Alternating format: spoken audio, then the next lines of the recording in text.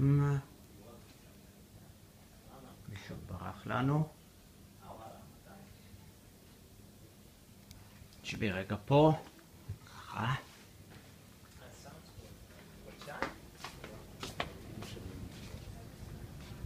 מי זה פה? מי יושב כאן?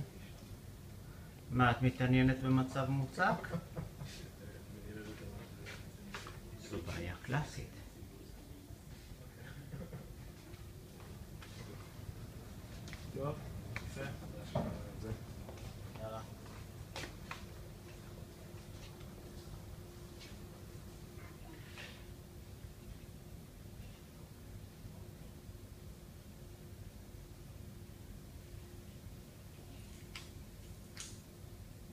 מה את מציירת?